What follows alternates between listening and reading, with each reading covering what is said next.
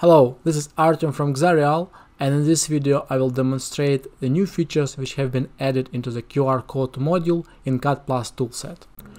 From the user interface, the control to select the source for your QR code has been improved significantly.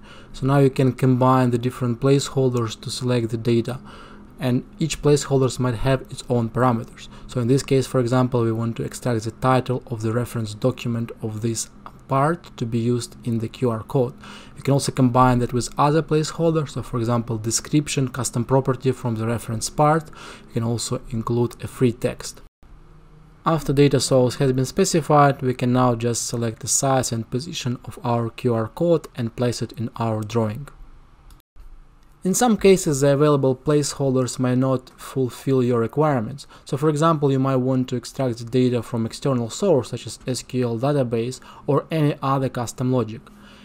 In the new version, in the standard edition, we enable the COM API for QR code, so you can use VBA macros or any other COM compatible language to insert your own QR code with any data you want.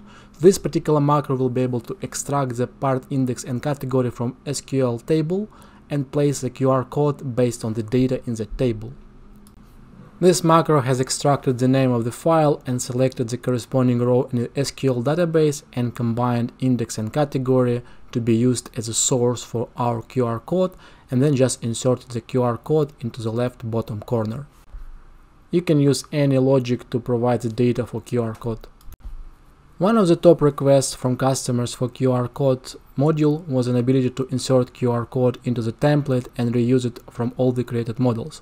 So let me start a new drawing here and insert an empty QR code placeholder. This is going to be used in our template. Let's configure this QR code to refer the full file path from our reference document inserted into drawing view. So just select a file path placeholder and specify that is going to be extracted from the reference document, which is basically part or assembly inserted into our drawing view. Of course, our template will not have any reference drawing view and the placeholder data cannot be resolved to insert a QR code, so we have this warning. We can click yes to just insert the placeholder QR code which will be resolved later after we add the drawing view into our drawing. The QR code feature has been inserted and you can see it has a red cross indicating that this QR code is empty and does not have any data. So now let's save our drawing as a template so we can reuse it in our new drawings. So I just specify the drw format and name this as QR code drawing. I will specify the correct location for my template and hit save. Now let's create new drawing from the template we have just created.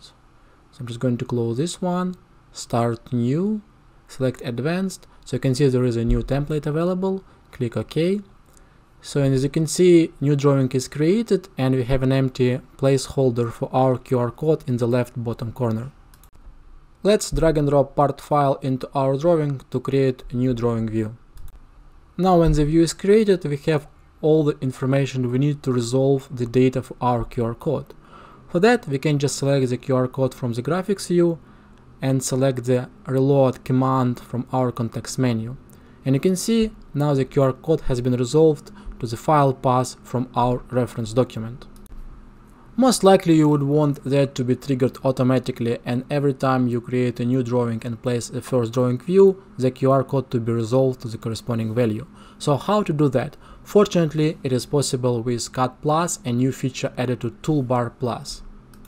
Let's activate Toolbar Plus menu and see the feature available there. So let's go to CAD Plus, Toolbar, Configure Custom Toolbar. So in here we can add a new macro.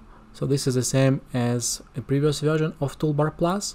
So also we can invoke the API to automatically update our QR codes. And let's just specify the title for this macro. Let's call it update QR code. As we want to run this macro automatically, we want to select the corresponding trigger to run this macro. And the new version of Toolbar Plus, we have added a trigger called New Document Modeling Started. And this trigger got invoked every time you create a new document and add first feature to that file. So for drawings it will be a first drawing view, for assemblies a first component, and for part files a first feature which fits the requirement of our update QR code. because we can only resolve the data in the QR code and the first drawing view is placed. We can also create a button for that, but as a part of this demo I will only select new document modeling started trigger. Now let's select the scope, as I only want to run it in the drawings I will select the drawing and click OK. Now we just need to restart our SOLIDWORKS for changes to take effect.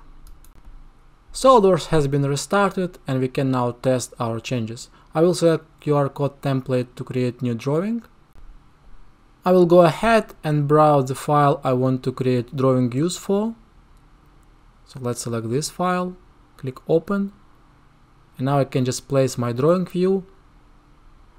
And at this moment my QR code will be automatically updated based on the trigger in toolbar plus and the macro which run automatically. So you can see now this QR code contains the valid information for the drawing view inserted into this drawing. Thank you for watching this video.